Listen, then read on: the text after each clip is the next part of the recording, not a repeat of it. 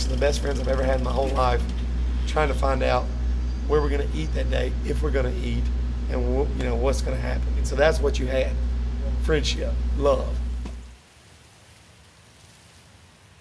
I mean, they're a flagship tooth and nail band, you know. I mean, and they are what I hope the whole label is represented by. You know, they're quality guys, they're nice guys, they're amazing live, they're good songwriters, they work hard, they tour. Um, they're, they're everything that we'd want on in a band on our label. They're like a poster child, really.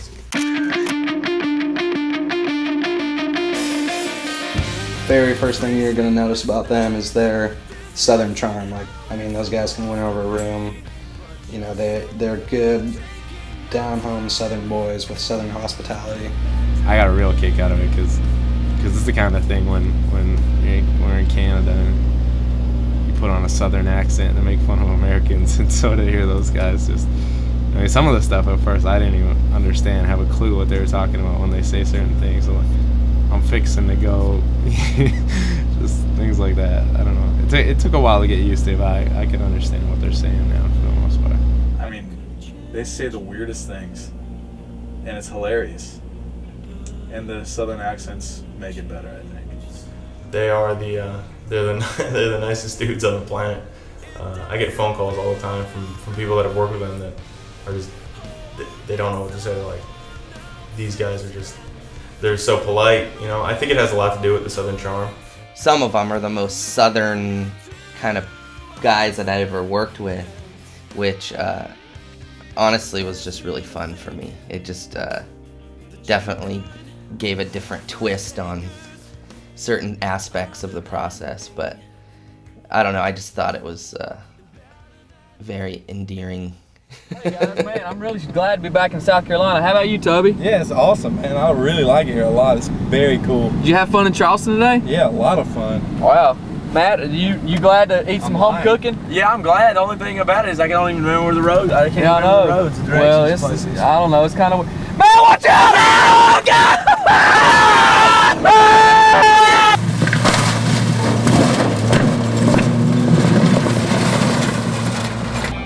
people, they're crazy. I mean, they're like um, skits on Saturday Night Live every day. I mean, that's basically if you could explain it. I mean, there's really never a dull moment.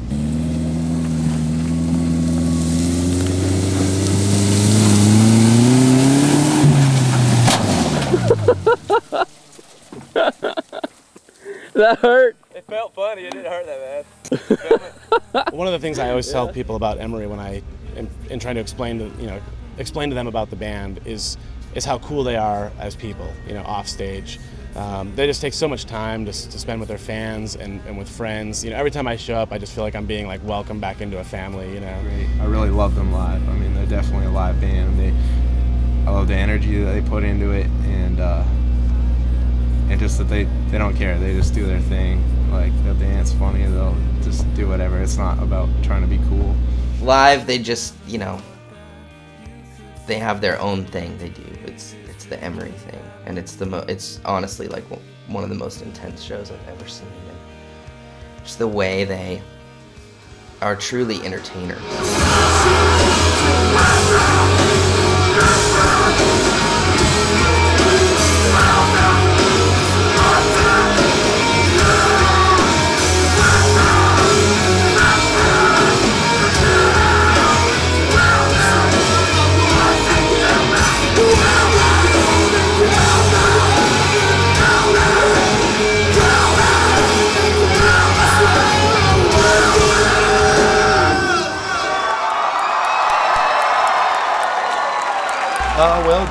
I, we were band nerds at Greer High School. Uh, I played the mellophone and Joel played the trombone. We used to always ride to games on the on the band bus, and it was funny because we'd always talk about like uh, you know girl problems and stuff. I was kind of like the depressed kid that was overweight and trying to be cool and funny and just trying to fit in. And Joel, you know, was kind of coming off this relationship that wasn't working out. wasn't even really a relationship, but you know, just a crush. And so uh, we've known each other the longest of anybody, like maybe 13, 14, 15 years. I can't even exactly remember. But I go way back, I guess, with Devin and Matt. We played t-ball in Blue Ridge, you know, and all of our moms were like PTA moms and stuff. Uh, played t-ball for a while. Went to the same elementary school, middle school, high school. So we've known, dang, we've we've known each other forever. I was good friends with Seth in high school, and Matt was good friends with Seth. So we kind of got tied in through that. Started playing music together. Seth and I love Silverchair, Frogstomp, and we started getting Devin to listen to it. And Devin thought that guy's voice is kind of really pretty and smooth. And uh, Devin just really basically started listening to rock in 11th grade for the first time with Silverchair because me and Seth were big into it. So he then and he could sing great. So I mean he could sing you know super clean stuff like Daniel Johns did. And so then I mean Seth Devin would come over and Seth and Devin and I would just play Silverchair songs. And then Devin would get into Weezer and we're playing Weezer and stuff like that. So we had other friends would come over and we would just it was just the, we pretty much started doing it every Friday night. We might go to the football game, then we go back to my house, spend the night, cook a pizza, and we play every song that was on the radio that we loved, and we just play them all you know all night long. We started a band in high school called Simply Wayne's, and actually we got it from uh, we got the name from a restaurant that we would eat at. Uh, like they had fried chicken and stuff, and we would hang out there after practice, and we didn't have a name, so we just said Simply Wayne's, you know, and that kind of stuck.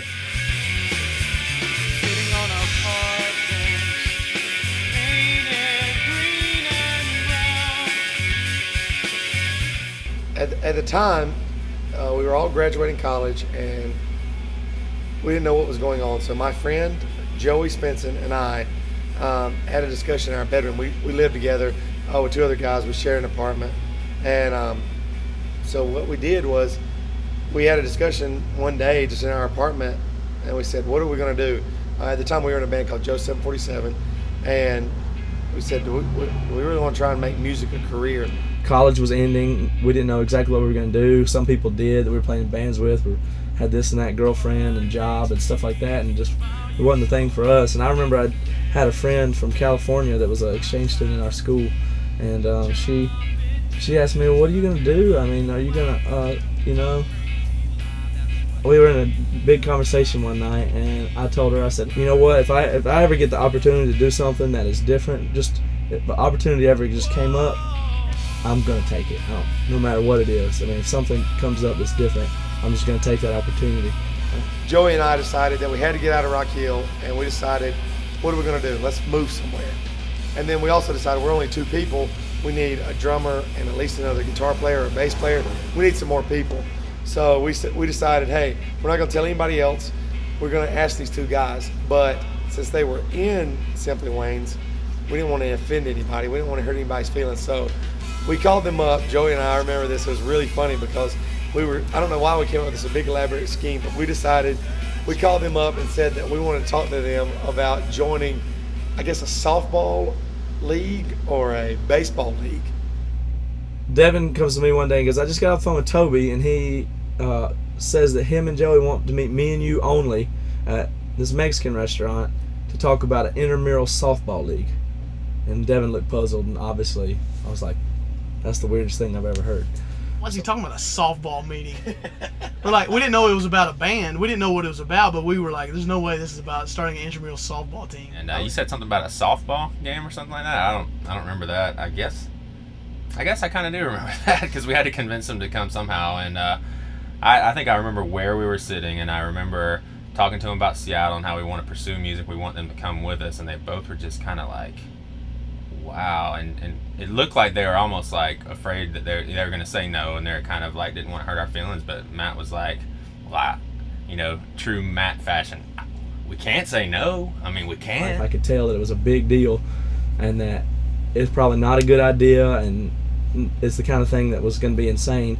And I knew immediately that was the that was the like the Lord's just telling me, say, this is you want something, here you go. This is a, this is a, something wacky, and you can do it if you want to, kind of thing. This is what you're asking for, looking for. So I didn't even, I mean, I didn't even hesitate. I was like, yes. And they were like, yeah, we don't really know where we want to move. Somewhere away with a better uh, scene that we can get into the scene and get going. And it was just really neat because all of a sudden, Joey and I became Joey and me and Matt and Devin. There was four people immediately. So it was really cool just because we, you know, we didn't know what to do. We didn't know what to expect. We didn't know where we were going at that time either. It was just an immediate beginning of the band. You know, I remember, I think I was on the bottom bunk, he was on the top bunk. We were talking to each other and, you know, just saying if we really are serious about our music, we're not going to stay in Rock Hill because there's like one place to play and not a huge scene for the kind of music that we wanted to play. And so um, it was weird. It was just like I start, I said something about Seattle and it was just like it clicked and we were like, yeah, let's do it. As the summer went along, we were going to leave in September. And as the summer progressed, uh, Joey started acting a little more strange. And uh, he would come up to practice. He lived in Charleston. We lived in Greer. And he would come up to practice with us on the weekends. And uh, he came up one last weekend, like maybe three weeks before we were supposed to leave. Um, and he just wasn't himself, you know. And it looked like he was worried about something. And he, but he didn't really say anything. We didn't really ask him that much, you know. So I get a letter and it goes, which is weird because Joey's my best friend I've ever had in my life. And um, he didn't tell me to my face. I guess he's probably embarrassed and worried, but he just felt like um, God was leading a different way and he felt like he couldn't go with us. So he sent us a letter and said, Hey, I'm not going with you guys to Seattle. I can't. So immediately I was like, Oh no, my whole world was up, turned upside down. I've been working uh, at Matt's dad's construction site for the whole summer, working in terrible heat laying down asphalt, digging ditches, all this stuff, just trying to save up enough money. And I was like, it's all for nothing. Joey's not going. Everybody else is probably going to bail too. And uh, so Joey sends us this letter, and I was like, oh no. So I call him, and his mother answers, and she says, I was like, man, I talked to her for probably 10 minutes. I was like, yeah. She's like, I know. I don't know why he's doing this, and we just don't understand what's going on. I was like, yeah, I know. It just seems so crazy. I mean, why isn't he talking to us? And you know what's going on? And she's like, yes, I know. And she says, and now he just tells us he's going north.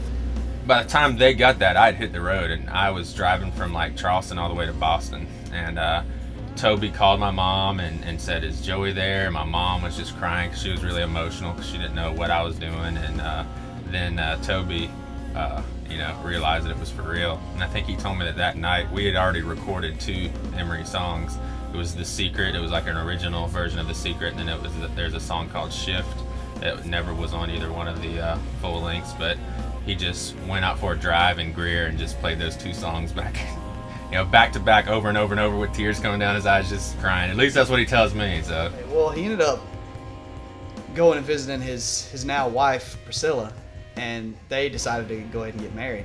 It was awesome because it was perfect, and now you know, I mean, they've been married ever since have a wonderful marriage, have a child on the way. It's going to be born in a couple months.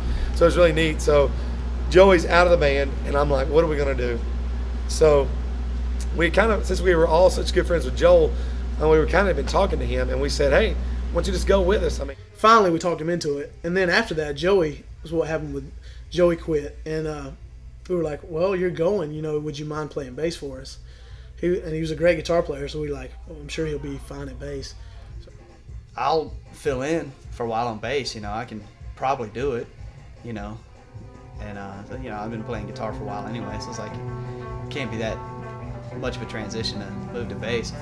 So I was like, yeah, that sounds great. And so, you know, I sort of did that.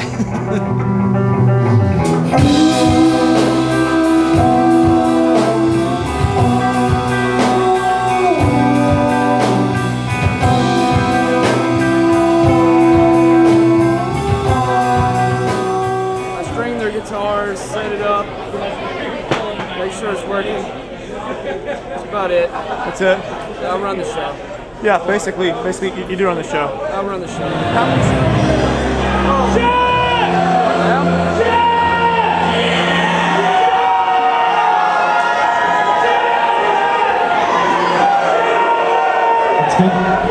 It's no, no worries, no nothing. Who is this? check out all the time. Who are you? I thought it was France, but France. Oh, I, don't. I didn't think France was Middle Eastern.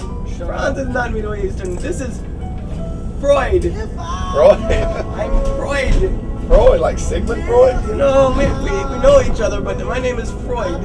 Where are you from, Freud? I am from a little place in France. France. Yes. Uh, Miguel just kind of came on the bus.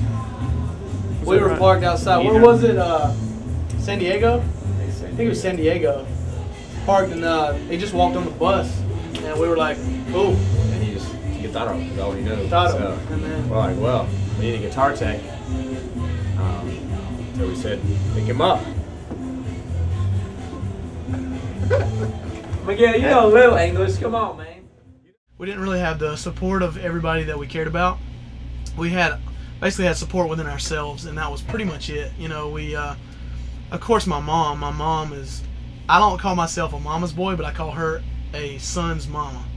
If you get what I'm saying, I'm like her special, special thing. Um, and my dad too, of course, but um, it's definitely something that affected her, and she just sobbed and sobbed for days and days. She was like, "Why Seattle? It is so far away," you know. And my, it was basically my whole family, you know, were just like, we don't understand, you know. It's just, I mean, we were trying to get up the point across as to, you know, this is something that we feel like we have to do. So definitely not having the, it wasn't like they didn't support what we were doing, but they didn't really think it was a good decision. They, they just didn't understand. And so not having that from your parents and your family was definitely a frightening thing. You know, we wanted them to understand and not be scared for us and not be, you know, uh, upset that we were leaving, which you can only understand because you are leaving your, it's your child or your boyfriend or your friend. Of course, you're gonna miss them. And they said, "Hey man, we're moving to Seattle," and I was sort of bummed out because I knew that was the end of Simply Wayne's, and you know I wouldn't see my best friends for a while. So uh, they said, "Yeah, we're going to Seattle to start a band." I was like, "Whoa, cool, man!" And I was in a serious relationship at the time, and uh, you know I was like, "Well, I guess I won't be a part of that." But then I got to thinking about it and said, "Well, there's no reason I can't go out with the guys." So the plan was to go out for me to go out there for three months and just sort of hang out and come back to South Carolina. Uh, Matt's dad had a little six by ten trailer, real little small white trailer. We thought that's what we were gonna have, and uh, unbeknownst to me, Matt's dad's business partner um, had this racing trailer. I think it was 33 feet long. I mean, giant black trailer. Had uh, black and white checker flag tile in the ground in the floor. Had a bathroom. Had a, like a little living room area, and uh, I didn't even know we were gonna have it. And nobody told me. And Matt's dad, we played this show in, in Greer, South Carolina before we left, and they were like, "Hey, uh, come outside for a minute." And I remember being there with Matt, Matt's dad, and uh, they were like, "Hey, here's our trailer." And I thought they were bringing the six x twelve, and I saw this giant black trailer, and I was like, "What? What?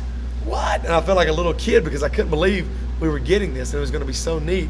And it was really funny because they, them knowing my personality, just didn't want to tell me because they knew I'd be so shocked that we had had, that we now had this trailer where we could carry our gear and also sleep in it. I mean, it was so big that we made bunk beds and we slept in the thing. I mean, it was our home. It was a, like a travel. It was almost, you know, I mean, we really slept in it.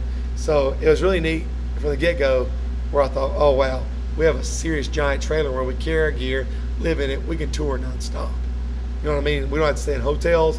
We don't have to stay on the floor. We don't have to worry about anything except for driving somewhere, getting out of the car, and you know going to sleep. But what I didn't realize was that we were going to pull it with a Yukon. The Yukon was maybe half as long as this trailer was. I mean, it was unreal. And Matt was the only one that could drive it for the first like year because nobody else could. We were scared to death. It's not built to, to pull a 30 foot trailer. So when you would drive down the highway, if you got over 50 miles an hour, 30 feet of this trailer started start going. We call it the Jimmies. I don't know what other people call it. Well, there's two kinds of jimmies. First, when Jimmy first introduced himself, I think we were rock climbing, and uh, we if you stay on a rock too long in the same spot, your legs start getting the jimmies, and it's just your muscles, and we kind of coined that term, the jimmies. It's really funny. And uh, then the second, uh, the second time Jimmy came to visit us was probably on about every interstate in the U.S. It would just toy with the Yukon. It weighed so much more than the car that was pulling it. When you're doing about 65 down the interstate, and your 28 foot trailer is going in three lanes like that, it, it sucks. It's, but the first time that anybody makes a trip like that is it's something you'll never forget. Seeing mountains and stuff like the sky and water like that for the first time. But at the same time, you know, we were just hoping it would be an adventure and we wouldn't have to, almost thinking like we wouldn't have to deal with anything bad, just just adventure and something good, you know. It all sounds great, but once you get out there and you leave your family and you leave your girlfriend and you leave stuff like that and, and just drive west and you never never been anywhere, it's kind of scary. You don't know what you're gonna do. And I remember it was really exciting and adventurous on the way out there, but once we got there, it really set in like almost like a panic inside of me where I was just so nervous. I was like, I don't know what because we couldn't find a place to live, we couldn't find a place to practice or a place where we could get jobs or a place we could afford. I mean, we didn't know what we were gonna. We couldn't. I mean, things were. Just, it wasn't working. We couldn't even get around in traffic. We'd all pile in the car and go try to look at places to live, and it was just failure, failure every day. Um, and we were staying in that trailer in a state park, and I don't know. We would cook it, just make a fire and cook some stuff and eat. I mean, it was it was really it was really pathetic and kind of scary. Nobody had. I mean, that was before cell phones really. So we just had a payphone. So I would go to the payphone at night and call my girlfriend, kind of thing. And I guess we decided that maybe we wouldn't that we would be like on not a break, but just this or that, or maybe see other people, or we didn't know what was going to happen when I moved, you know, kind of thing. And I I called her when we got to. Uh, I was so sad. And I missed my parents, and we couldn't find a place. And I thought I'd be, been thinking for maybe two or three days that we might might just go back and just get just you know we have enough money to call our parents if we need more and we can get back home mean this is fun but if we can't live here we can't afford it if it's not going to work we do, we just got to go back. We I don't know we'll just do the band back there. You know and I, I basically got to a point where I was like yeah if I didn't say it or anything but if the, if somebody else would have been like you know what? I think we should just go back. I don't know if we're going to be able to make it here. It's too hard. I would have probably said yes. I'd been like I was at that point I was like okay let's just yeah. I'm embarrassed, but we could go home. If we'd have talked about it and decided to go back home to South Carolina, I don't know if we would have ever made it out to Seattle at all. I think we would have probably just gotten pretty comfortable where we were and just, well, we thought about it and it was a cool thought, you know. I called my girlfriend and I was like, you know what, I'm really sorry, like I don't know, like I know we are saying maybe we'd see other people or whatever, but I, don't, you know, I don't, I don't want to see other people. I just, we can work this out if I come home or even if I don't. I just want to make sure we stay together, whatever. She goes, well, yeah, but I mean, you said that we would see other people and stuff like that. So I said, yeah, I know, but I mean, what I'm saying is I don't want to. So that's maybe we, whatever. She goes, yeah, but we said said that, and she just started acting really weird. I was like, yeah, but I mean, you know, well, it's not. And I said, wait a second. I mean, you you see somebody else? I mean, I've been gone 10, 12 days, and she's like, well, I was like, I and then I was just it was just awful, you know, like I mean, it was pretty much the lowest time at that point I'd ever experienced, like being scared and sad and didn't know what to do, and then that on top of it, and she, and so that was it. I mean, she started seeing somebody else in a week, and it just it totally destroyed me, and I. You know, it took, I don't know, it was a long time from uphill battle for a really long time until anything good happened with us or our band or anything else after that. It was a really, moving to Seattle was really scary and hard and sad.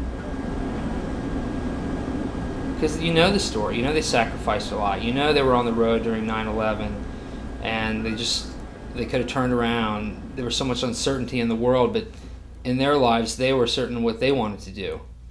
Go to this crazy new city. It's tough, you know, and and try to leave a mark, not knowing really anybody. We had to start finding just jobs that could cover our expenses and. Uh, Joel and Matt got jobs at Guitar Center.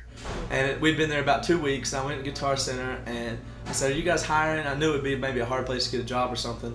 And they just said, Well, you know, we kind of are. I mean, what do you know? And I was like, Well, you know, I know stuff about recording and guitars. I'm a guitar player, some band, which is each and every person that works at any guitar center in the nation is, Well, I got this band, so I, you know, I want to get a job. And I don't know. So they, they're like, Okay, well, you know, they they wound up sticking me in computer software and keyboards, which I knew enough about recording and stuff like that, and they just they just that's where they had a need.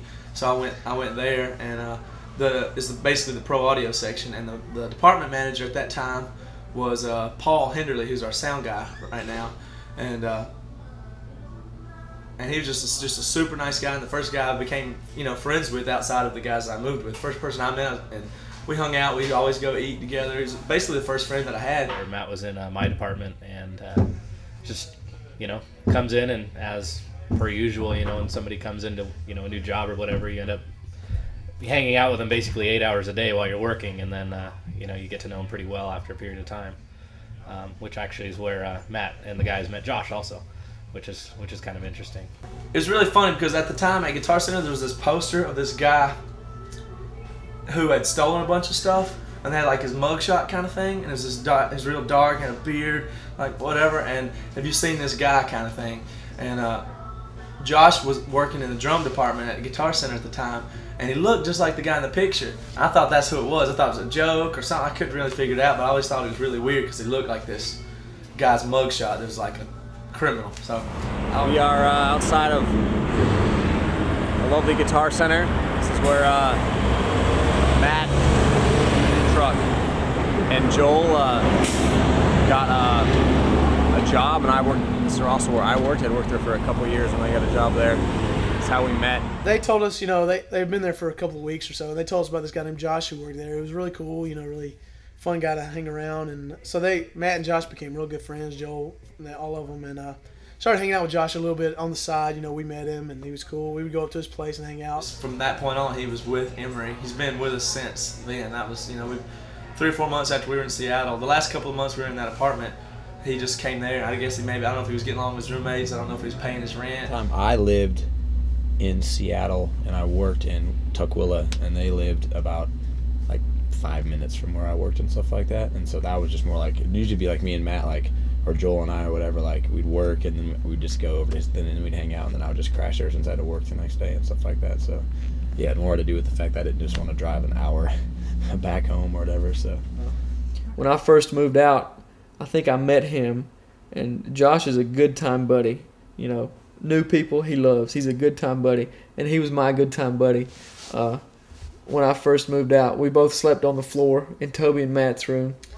When we first got to Seattle, it was a, we were a four piece band. Um, I was a drummer. Toby was lead vocalist, guitar, Matt guitar and keyboards, and then Joel was bass. Um, Seth had a serious girlfriend in South Carolina. He was the drummer for our previous band in college, and um, he just couldn't go. I mean, it was like one of those really serious relationships for five years, and they were planning on getting married and stuff. And uh, we let we got there in September. In December, or November, December, she broke up with Seth after a long, long time.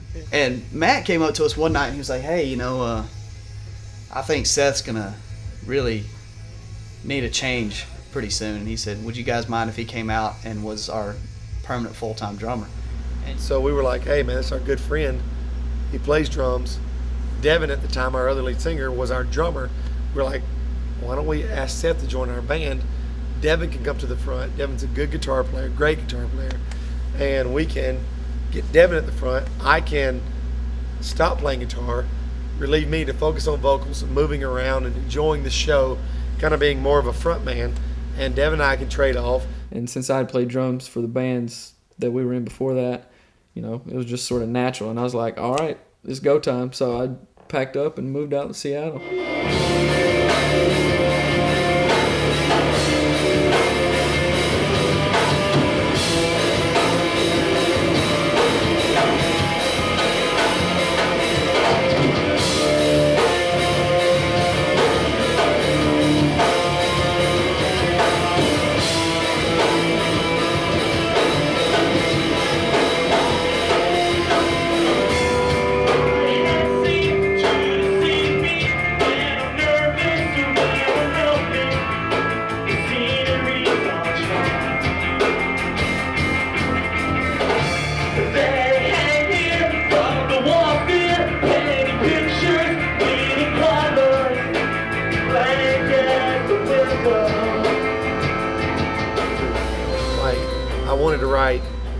Crazy time signature changes and these crazy chords and chord progressions and show that, you know, make myself feel like I was really creating something, which, you know, I am proud of those songs and what I wanted to do, but as we got to Seattle, it, what we realized was there that scene really didn't happen there. It didn't really exist as much there.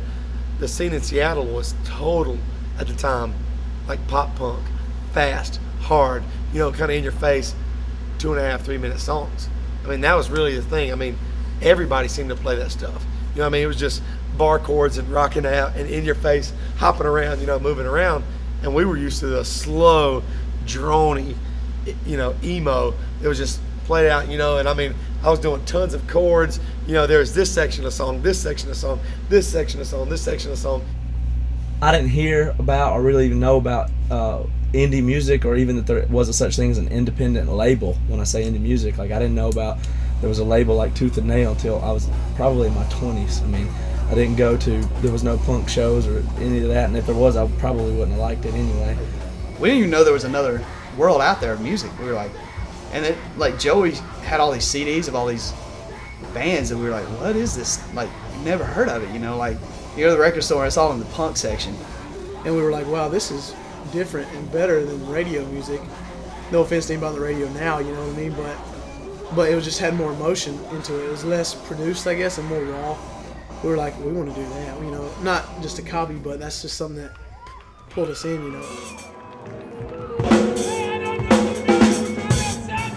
know.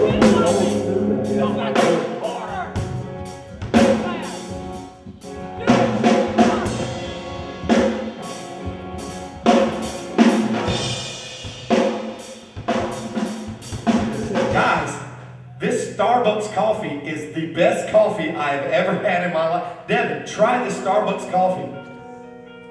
Wow. There is nothing like a fresh brewed cup of Starbucks coffee. I agree. It is amazing. Unless you've got two freshly brewed cups.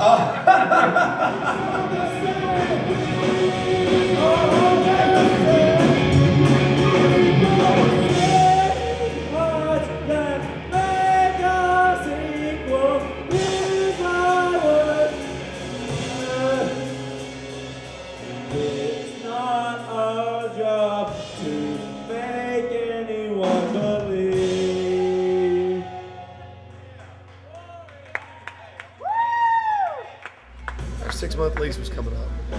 We looked around, all around Seattle, and we're going to start renting a house. We wanted a bigger space where we'd have a practice space in the home. Um, maybe we could do some recording and stuff like that. So all of us like for I don't know how long it was maybe about a month we'd looking in the paper and going around like trying to find because we lived in this really terrible apartment complex uh, that we hated um, a lot so uh, We've been looking for houses all day. It's getting kind of depressing a little bit, I guess. I don't know. It sucks. Uh, hopefully, get a spot up in Queen Anne. I don't know really. but uh, what do you think? I mean, where where do you think we should live? All right. Can we still find Well, Seth, I really enjoyed a lot of the houses in Ballard and the shoreline area. just take this. But maybe one of my favorite houses of all was the one we found uh, over there in the U District. It had vaulted ceilings, and you know, just a lot of a lot of rooms, a lot of space. I I couldn't imagine a better place to live. Um, what? Speaking of that, what kind of house did you grow up in? Well, Toby, um, I grew up actually in the foothills of Blue Ridge, South Carolina. Uh, had a good existence as a child. Um, the house was actually built in the 1890s, which was kind of strange because the house has stood the test of time for at least 110 years. Uh, one would think that the house might be haunted, and I myself thought that the presence of paranormal activity was uh, um, Do you mean ghosts? Can I go there? Starts here, but it Yes. way down that. Ghosts. So we need to get back on five. Did so they have chains and they carried bloody weaponry? And right now, bloody Yes. I grew up in a house just like that myself. In fact, I don't know if you knew this, but I grew up in Blue Ridge, South Carolina myself, right near Lakeview Steakhouse. I never ate there my whole life. It was awesome. Did you say Lakeview Steakhouse? No, I didn't. I thought you said Lakeview Steakhouse. I used to work there. Well, I didn't. I wish you weren't a liar. Looked around, found even found the house, um, and we're going the next day. We're going to move out of our apartment. Going the next day to put our down payment on, and move into this house. The very next day. So we're in the 30 foot racing trailer, sweeping it out, cleaning it out to prepare it for our stuff. We're going to move our put our stuff in there, move into the house the next day. Matt says, I believe it was Matt. I sure do wish we were going on tour now or something like that instead of moving into a house. I mean, I, I really wish our band was at that level where we could tour or just, you know, we could, you know, it'd be awesome. And uh, Toby's like, yeah, we should, I mean, we could just live in this thing if we were on tour. Remember, it wasn't so bad. But I was like, yeah, I'll do it. Whatever. You know, just let's just do it or something. So we are just kind of joking. We're like, no, seriously. the the joke started turning into serious issues and we started discussing you know we don't you know why do we need this house it's just going to be a load of money that we're throwing down the drain you know we could be saving this money for some other stuff and, and Everybody's like, well, is this possible? Can we really do this? And um, everybody kind of started going, yeah, yeah, maybe we could, maybe we could. And I mean, by this time it was probably midnight, maybe one in the morning. So we're supposed to be, you know, 9 a.m. putting like a $1,500, $2,000 down payment on this house. So we go, okay, let's do it. So we immediately uh, moved in the trailer and we would stay in our storage unit. We had like clothes hanging up, a couch in there, and a TV, and then all our band gear just in a Shurgard storage unit. We paid $125 a month for. And so we kind of lived out of that in the trailer, and we would sleep in 24-hour grocery store parking lots because it's well lit, it's safe. You can go in the grocery store all night. Otter, mad otter.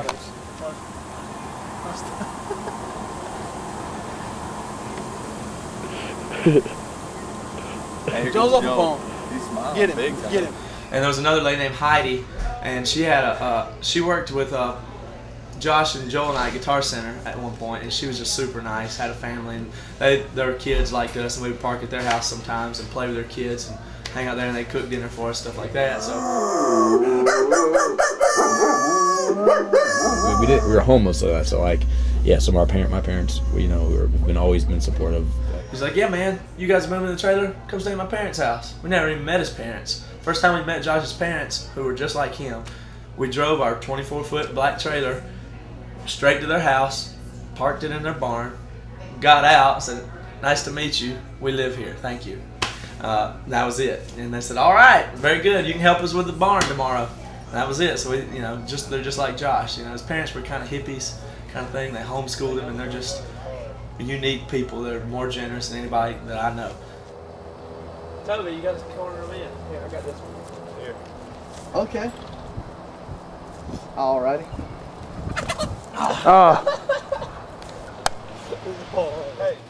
And I, I was doing a lot of the booking, and Seth was doing a lot of the booking, and it was a nightmare. I mean, you call places in California that we've never been, and you know they're like, "Dude, we don't need you guys to play here. Why?" So this is a new song to us. All these are new to you guys, but um, hopefully you'll enjoy it.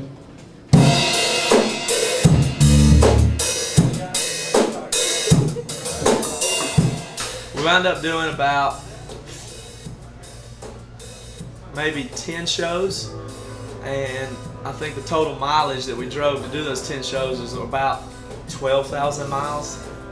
That ratio is not very good. You want to play a little more than than a dozen shows if you're going to drive 10, 10 to 15,000 miles. I called around, tried to book this tour, got on tour with a band called Falling Up. Oh, wait, whoa, whoa, whoa, I'm sorry. Flying or Falling. you know, the band wanted it and they, they packed up and came on the tour. And I believe that was the official first tour that Emery had ever done. We did a West Coast run and, you know, we had a great time. They had this giant trailer that they were towing around. So I'm sure some of the other guys will probably tell about a story where I was driving and went down this like around this curve. Maybe it was an exit, I can't remember, but it was kind of a downhill grade and around the curve at the same time. And I didn't slow down enough. And I mean, it was it was the most probably that we ever had. The SUV, 30 foot, 35 foot trailer, everything at once moves about four feet to the right. The whole, I mean, it's going the most jimmies. You know, we're we're not in three lanes. We're in five lanes, going everywhere. And ah! This might be it. you know, we might go. It really moved the back end. I thought, I mean, I thought the trailer was just going to go over and just it just take the car with it. Then finally somehow it, it got under control and so doubt. But they they everybody after that was like, you gotta not let Devin drive anymore. If you ask every single person, they'll tell you the same thing. Devin, on the night. If you say, "Remember the night Devin almost killed us?" Everybody will know that's what it is.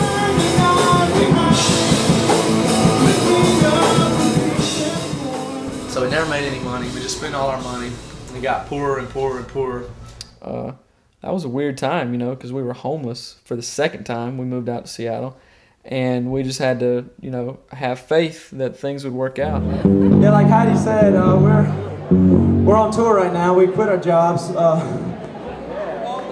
a week, two weeks ago, and we're just trying to book a tour and stay busy. We're gonna do this full time. We live in a trailer that we pull behind my car. It's in the back. Come hang out afterwards. Just we would we would go to like a grocery store and get a giant loaf of bread, and we had a bottle of olive oil and vinegar, and we, that would be what we would eat that day: bread, olive oil, and vinegar.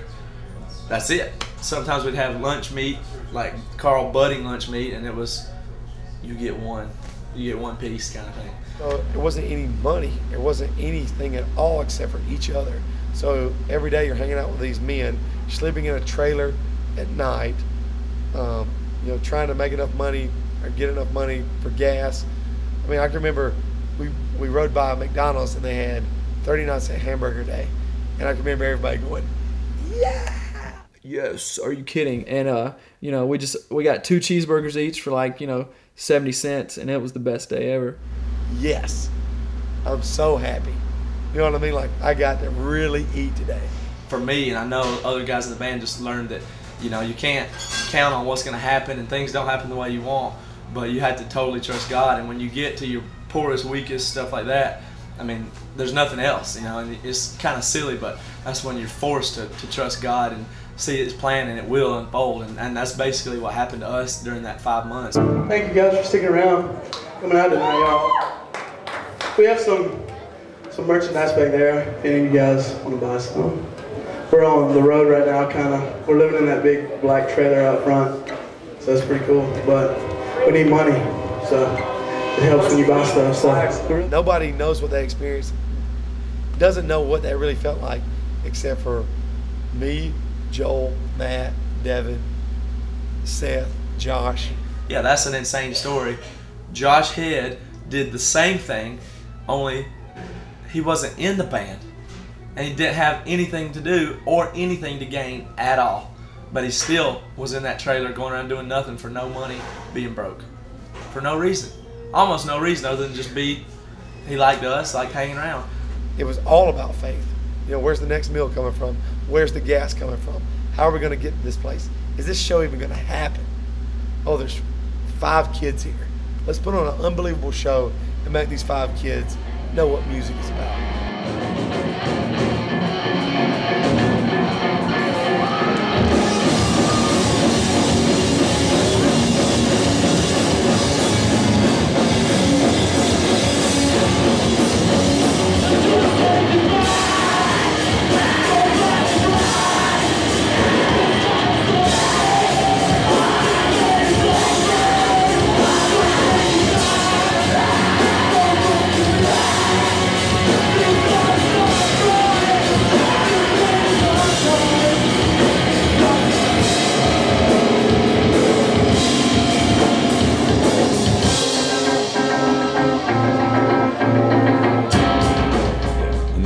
Eventually actually um, leased the property next door to them, and they let us rent. There's a house in that property, and they let us rent that. So we're this is in Maple Valley, Washington, where we used to live, and this is basically a big, one-room kind of, not not big, small one-room kind of a house. It's got a sectioned off little bathroom with a curtain, like a sliding door for the bathroom, and then other than that, it's one big open room. and these were just flat garages, and we built uh, walls in them and stuff like that. And we used to record in that room. Welcome. You're probably wondering, wondering what I'm doing. I'm mixing. I am producing. I am listening.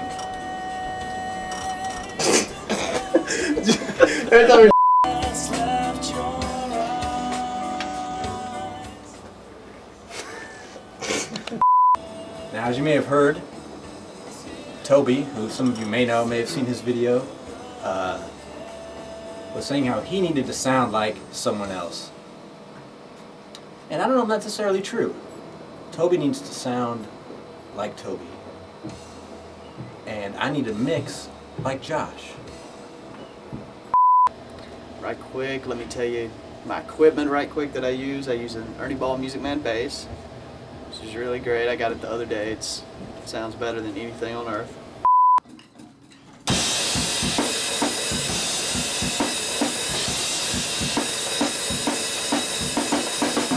Hello, my name is Devin Shelton from Emery. Um, just laying down some guitar tracks here. Um, trying to get some write some parts for the song we're recording. Um, probably should have done it beforehand, but hey, it's always nice to write new parts when you're recording. Add some layers on. Um, let's see here. I've already recorded the track. I don't really know what to tell you.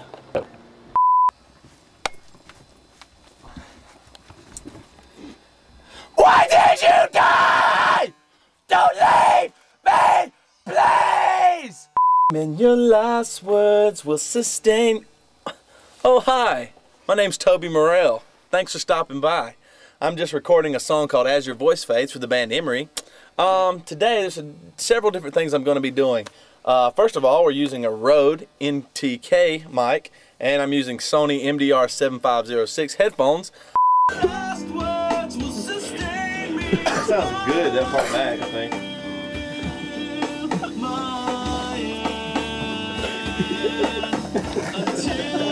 I'll do it better. That's all.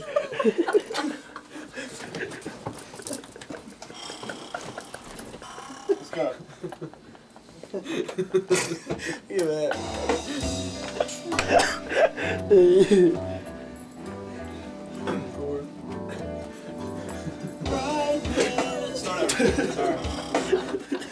You want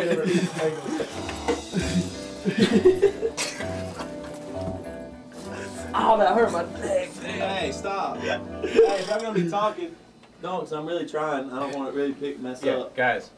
I mean, not trying to be a jerk. Kobe, I'm handling it out here.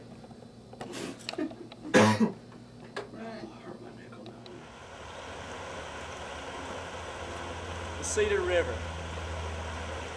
This is my favorite river on the earth, and rivers are my favorite thing on the earth. This goes right through Maple Valley where we used to live. Our house is right over there.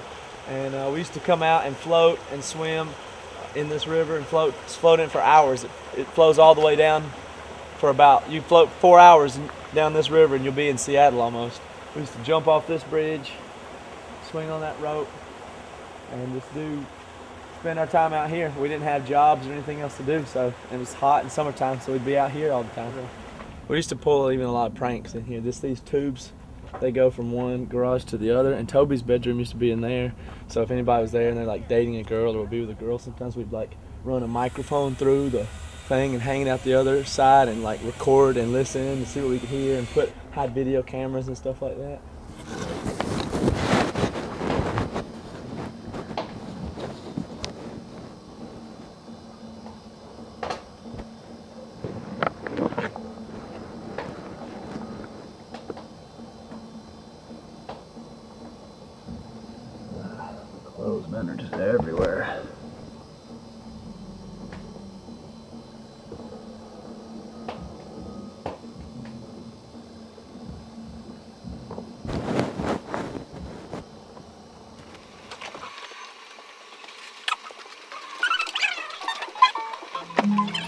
up in there.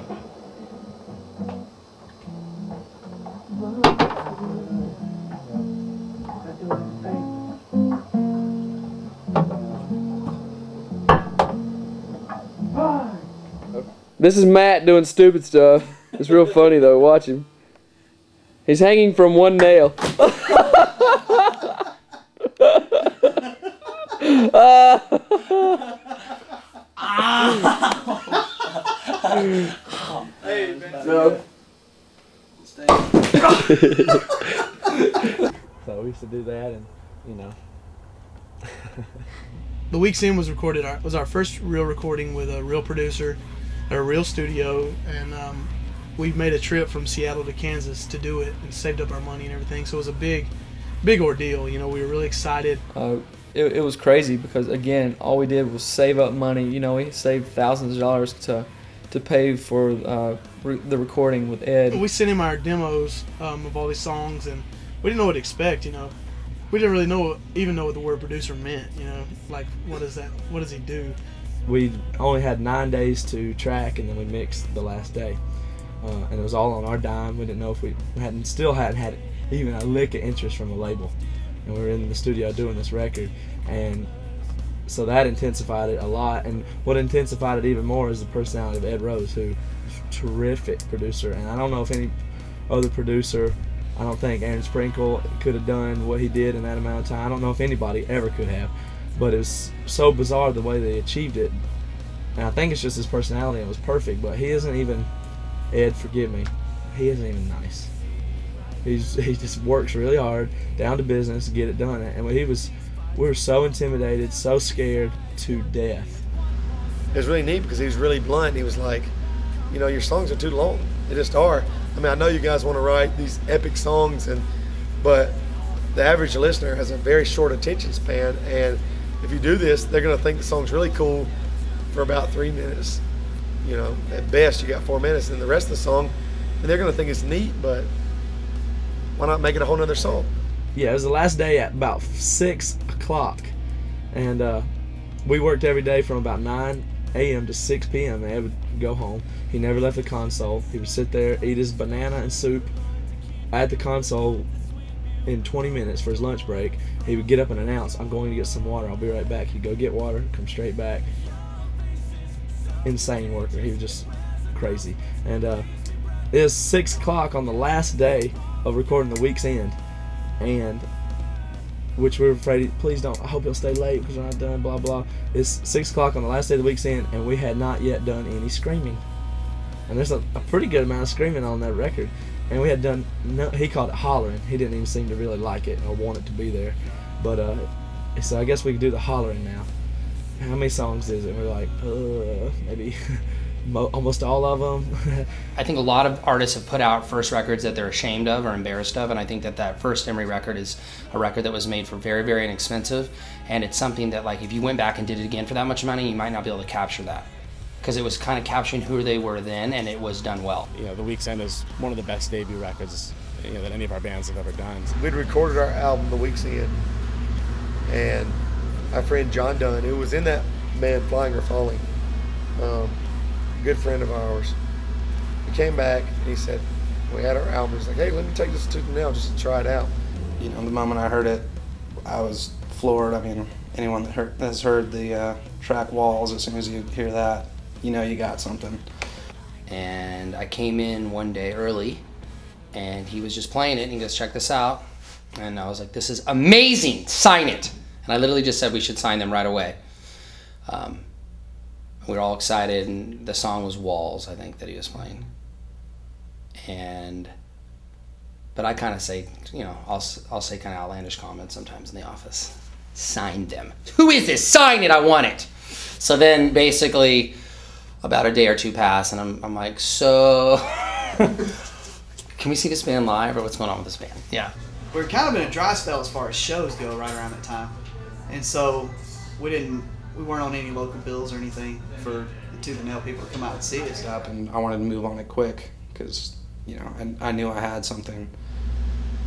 It, call, it calls us back. Maybe it was might have been a week or two later. And it was like, hey, um, do you think you guys could come up here and actually play a couple songs live, so this so everybody can see what kind of band you are, you know what what you're about, what do you look like, and so uh, we packed up our gear one day. I don't even remember what it was, and went there and uh, there, yeah, there was like 15 people that worked at Tooth and Nail, and I mean it was a very small room. I mean maybe 15 by 15 or something like that, and that it was even it was a basement, so it's like where they stored all their junk. all of a sudden I started getting a little freaked out. Like this maybe a little overzealous man. Like they're gonna play in our crappy basement, and like and our whole staff's just gonna be sitting there. And uh, but I respected them, and I thought that was awesome that they'd want to do that. But then I also was a little apprehensive too. I think it was my first time actually when I just started working for Tooth and Nail. I went up to meet with my new coworkers, and they had this band showcasing in the basement that was looking for a record deal, I guess.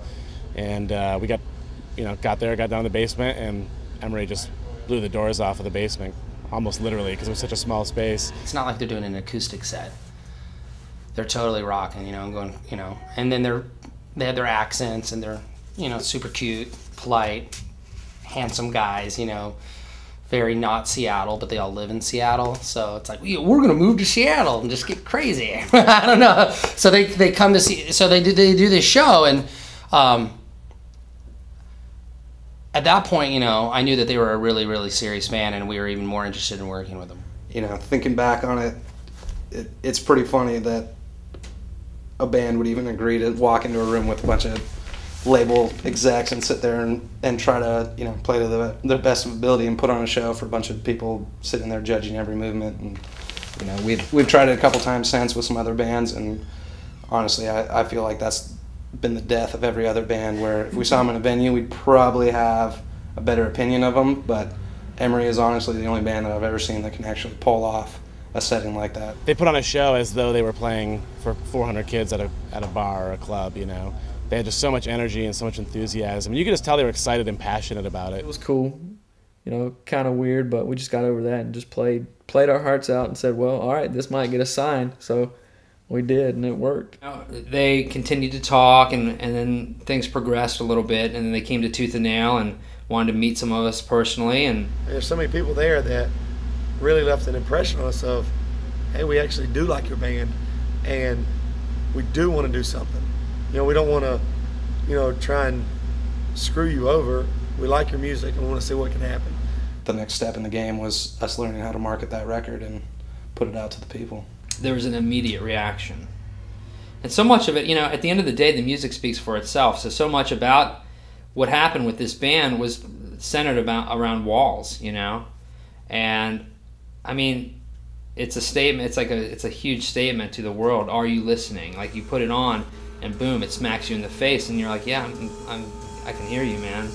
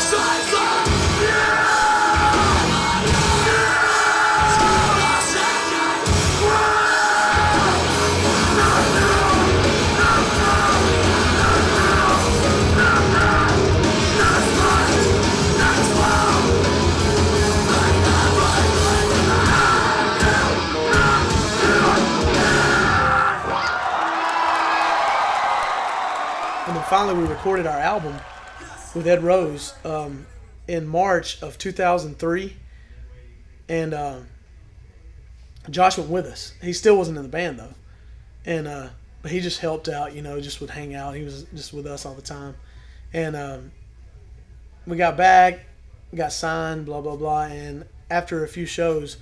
We asked Matt. Matt was playing guitar and keyboards, and so it was kind of a tough thing. Sometimes he could pull off both. It was kind of difficult. I, I thought, well, Josh is pretty good technical musician. He plays drums. He's got good rhythm. The rudiment pattern played on different parts of the kit, like everything. Right, Every right. beat ever created.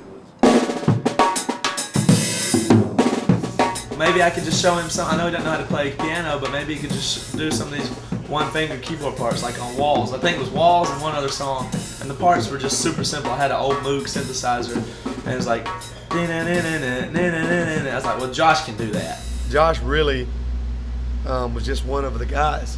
He was just one of our good friends, and it was kind of one of those things where I'm like, well, we could use a keyboard player. And that way I won't have to run over to the keyboard. And he can just walk up. There's two songs we play. He can walk up, do that part, and sit back down. That'll give him something to do. That'll be great.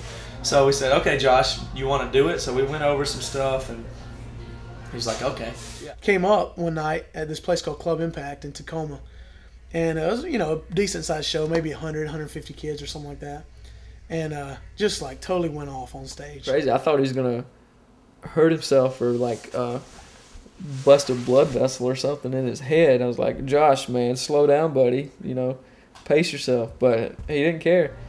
it was almost for a second like I was a was a kid at the show, and I turned around and I saw Josh and I was like, "Holy crap!" It's like the first time you see a band that just blows you away. but I happened to actually be in the band playing at the time, and I was like, "Man, that dude is nuts." He's running around, jumping. Uh, I mean, it's just insane. Throwing, picking the keyboard up. He doesn't play at all. He stayed up there the whole show and didn't play at all, but still made it. I mean, and after that, it was like, okay, well, this is really, this is good. People are gonna love this, you know. Yeah, I don't know. Just yeah, I guess I, I don't know if I freaked out or whatever, but yeah, I just I don't know. It was just really fun. Like I knew all the parts, and I was just confident.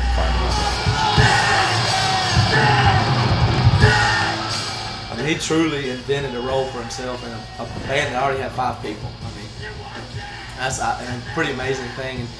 I mean, he's definitely the most, probably the most popular person in the band to the audience, no doubt. I mean, he gets the most compliments, the most attention, and people. If, if anybody's gonna say something about the show after the show, it's usually, "Man, your keyboard player, he's crazy." You know, that's the main comment we get, man. That, that guy's insane. Early on, actually, right in the beginning of this tour, he knocked his mic stand down, so I went up to get it, and I got repaid with a mic in the back of the head as I was walking back to my place. The worst injury we've had within the band is uh, probably Devin. Uh, one time at Warped Tour last year, I don't really remember it or I didn't feel the impact at all, but apparently my guitar came and hit him in the ear right here and split his ear open. And then we cleaned it off a little bit, and there was a giant split on the top of my ear. Golly, I mean, on Warped Tour, there's like, yeah, on top of the head with the body of the guitar, just blood everywhere and stuff like that. That one was pretty bad, and like they actually like, because it was warped Tour, the paramedics came and they called the police and everything, and Anytime you see Emery, there's a good chance that you're going to see somebody getting their uh, their ear taken off or a black eye or their head split open. It's just complete mayhem. Um, especially if you see them on a smaller stage. Like I, I don't know how they pull it off without killing each other. Matt moves around the most and doesn't realize where he's at on stage and will hit you with his guitar. No, there's no getting away from it. It will happen at least once or twice a tour. I'm gonna use these to glue back together my guitar, which the neck is. And I'm gonna glue it with Gorilla Glue, and then tighten it down, leave it for overnight, and then string it up and play it. I got hit on my knuckles yesterday and it just hurt so bad because it's just a hammer to your hand. on stage, I would definitely inflict the most injuries for sure, and uh, most of them are on Josh. So Josh has been hit, but I mean he's it's his fault too. I swear it is. He he's hits himself, had imprints of a microphone grill right in the middle of his forehead.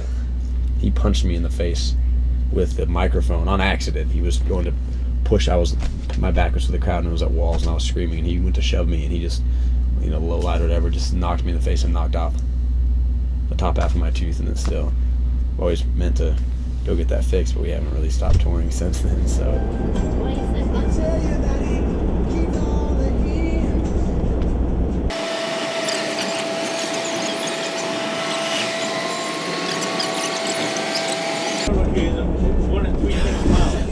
A minute and 40 seconds. Holy I was trying to think of what what was most difficult about life on the tour bus, and the guys really didn't come into the picture. Like it's actually a joy to be around them. You know, I, I they're such great people with such unique personalities, and I it's just neat to see how their friendship really carries on in real life, know, and especially in such close quarters, and they, they are actually able to maintain it.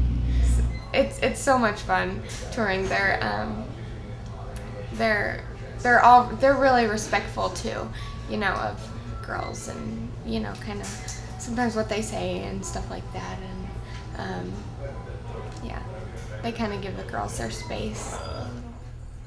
They love their uh, America's Funniest Home Videos and uh, video games. And uh, I don't know, you just get on the bus, sit down, enjoy yourself, and there's definitely laughs to be had. I would like to see Mike Tyson in his prime fighting against Bruce Lee. Bruce Lee is three to No, four yeah, times faster than Mike Tyson. Mike Tyson couldn't get a No, punch. no, no. Mike Tyson's punch is as fast as his. Are you crazy? No, You're that's crazy. not That's totally insane. No, you were insane. The Bruce Lee's Mike- kick- Bruce Lee was- Bruce Lee's we were driving uh, through Montana, like to Boise or something, and I just been thinking about it a lot because I just gotten engaged. You know, I was like, man, I don't know if I could be on the road. You know, be gone ten months out of the year and still try to you know build a relationship with my wife and stuff. So We're driving down the interstate and we ran out of gas, so we pulled off on this exit. And it was like in Montana or Wyoming where there's not a gas station for miles, you know. So I jumped out of the van and uh, our tour manager at the time, Eli, and Seth went walking down the interstate, the side of the road, to try to find a gas station. So I started walking down I 90 just by myself, sort of just jogging. I think I went for like two miles or something. And I was just like, you know, I guess talking to God, just praying and stuff. And that's, I remember on that road, I just decided, yeah, this will be the best thing for me and my wife. And uh, so we were walking, and um, a little while later, you know, we were driving. Down, we got gas. One of the guys found somebody took him to the gas station, came back, and we were driving down the road, and we saw Seth walking. He was still walking, and so um, picked him up. And then in the car, you could tell he'd been thinking about something, and he was like, "I, I need to talk to you guys about something." It's like, guys, you know, I've been thinking about it and stuff, and I think I'm, you know, going to leave the band after this last tour. and we were like totally blown away. I mean, we knew something was coming. We knew that he was in a, a big part in a big time of his life. is some big decision was going to have to be made, and uh, we just didn't really see it coming so clearly. After we discussed like you know who's to be the first person in the band, Devin, you know Toby, 'cause Devin, you know whoever. We, we thought that Seth, because Seth was the first one to get married. Like yeah, Seth maybe in you know a year from now or whatever. He just so we kind of all set ourselves up, you know, for him to to maybe you know because he'd always talked about he wanted to go back to school and do this other stuff, and so. But yeah, it was definitely way way sooner than we all thought it was going to be, you know. So and stuff that we were like, man, I can't believe it's Seth, and then When Seth left Emery, I don't think there was really concern um, from a label standpoint, mainly because the band reassured us so much that they were they were okay with everything, and um, and we you know we knew we were going to miss him as a person because he was an amazing guy like everybody else in the band. Um, we were just really happy that they that they separated on very good terms, um, and of course when they got Dave in the band, then we had absolutely no concerns because he's just a phenomenal drummer, one of the best drummers I've ever seen.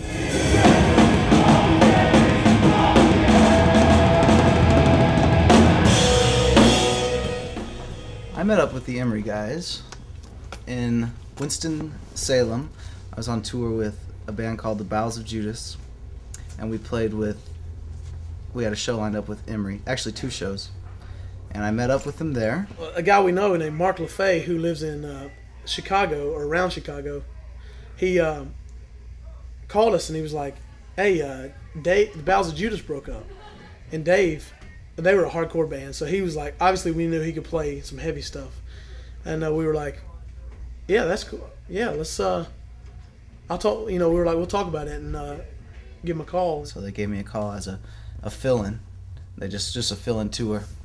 So I quit my job at home and went out with him. We brought him all the way out to Seattle, and we were practicing. We are like, hey, we don't know if this kid's going to be any good or not. And I mean, first day, nailed it. I mean, the songs were great. I mean, he immediately just played the songs just how we wanted. They said he was just out there. He was really shy. Like it's funny because he sits when he first started. He sits so low in his drum set. It was like he was almost hiding all the time. You know what I mean? And uh, he was just down there, and I laughed so hard just looking at him. But I, I didn't really know him that well. You know, first started knowing him, I was like, man, this guy's kind of weird. You know, just because he was so shy and just. But when he came out of his shell, he's one of the funniest guys I've ever known.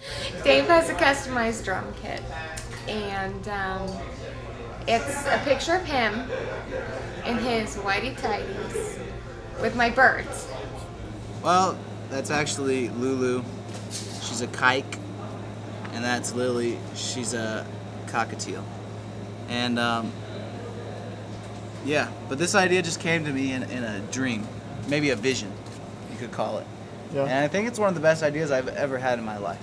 I, I think it's kind of silly, very silly actually, especially his uh, facial expressions. And I took the pictures. He talked me into taking the pictures. That's kind of like my, uh, you know, it's 2006 statement. You know what I mean? Like, uh, hey, it's 2006. Truth, truth hooked it up. We didn't know if we wanted to add a drummer like an official member. We just thought maybe we'd have a touring drummer, but we ended up loving Dave so much, and we're like, we're not gonna.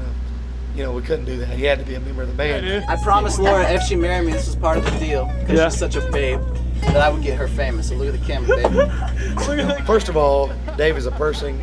Person is um, really, really cool. Really fun to be around. Um, great sense of humor. Um, just a great heart. Uh, loving personality, and just a person you want to be around. So immediately the friendship was there.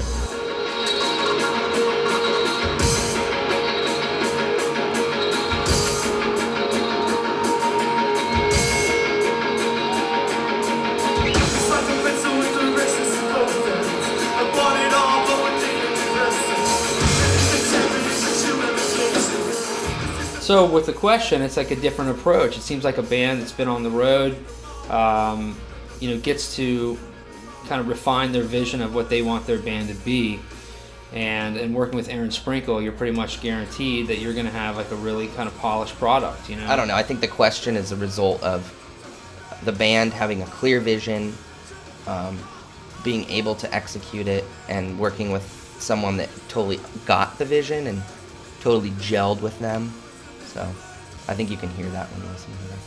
they decided that on some tracks they were going to have more song structure uh, verse chorus verse uh, kind of a little bit easier to like for maybe the masses but they still have songs on that album that are definitely uh, the Emery songs that I think like their hardcore fans really love the long you know the, the crazy songs with the weird tempo changes and um, but they also did add a little bit more pop I think into it, a little bit more um, easy listening tracks, I guess you could say too. And I think that there was a concerted effort there, but they also definitely did not compromise who they were. The contrast between Devin and Toby's songs make such an interesting record and such a great whole listen all the way through. You know, some records don't feel like you know one thing. Like it feels like a bunch of good songs maybe strung together, but this this has that feeling of a, of a record, you know, from start to finish. You know, it was literally in my CD player for probably a month in my car, and I just listened to it all the time, which sounds really corny considering I know the guys, but I love that album. It's a, it's a great album. You know, I think it's uh, sounds good musically, lyrically. and- Most records that I've done, if I'm brutally honest, I don't really listen to when I'm done working on them. Um, just because I think it's almost like maybe actors that don't go see their own movies, you know, because they're so close to it. But this this was one that I did listen to quite a bit afterwards, and that was a fun part of it, being able to to listen to it as a fan and disassociating my connection with being a part of it. And because of that, I think it's hard for me to pick a favorite song because I love the record as a whole. I just love it. I think it's so good. They are a band that's respected by their bands, they're respected by their fans, and they're respected by this label. And I feel like they show people respect. So they had done everything the right way. I mean, they had they had recorded the, the record themselves, um, and you know brought the record to us, and we just kind of polished it a little bit as best we could, and and that was it, and the rest was history. Are you listening?